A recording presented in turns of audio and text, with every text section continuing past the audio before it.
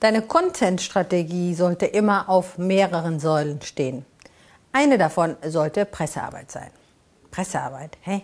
In Zeiten von Social Media ist das nicht total out?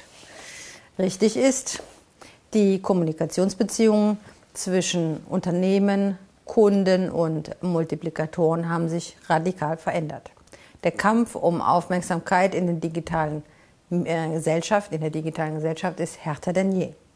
Traditionelle Unternehmenskommunikation funktioniert nicht mehr wie gewünscht. Der Verbraucher hat viel mehr Möglichkeiten zu entscheiden, welche Informationen er ignoriert und welche nicht.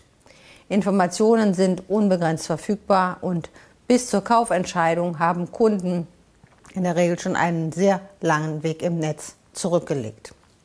Aber Public Relations ist ein wichtiges Instrument, um Kunden innerhalb seiner Buyers Journey mit qualifizierten, Betonung liegt auf qualifizierten Informationen über das eigene Unternehmen, Produkt oder Dienstleistung zu erreichen.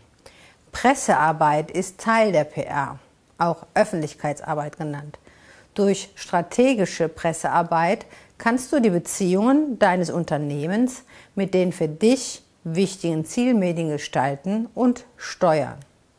Social Media ist wichtig, kann aber die Pressearbeit und insbesondere die Fachpressearbeit nicht ersetzen. Oder hast du schon mal einen Fachpressebeitrag mit 9000 Zeichen irgendwo als kompletten Post gesehen?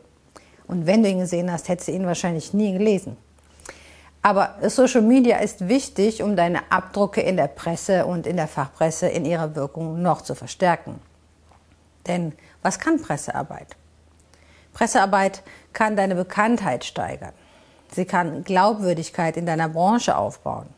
Du kannst damit eine positive Online-Reputation aufbauen, was besonders wichtig ist, wenn es mal zu einem Shitstorm kommt.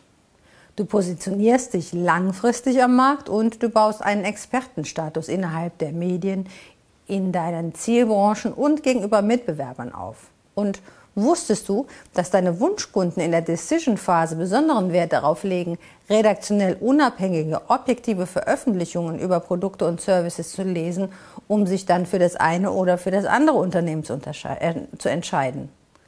Was du bei Pressearbeit grundsätzlich zu beachten hast, darüber sprechen wir im nächsten Video.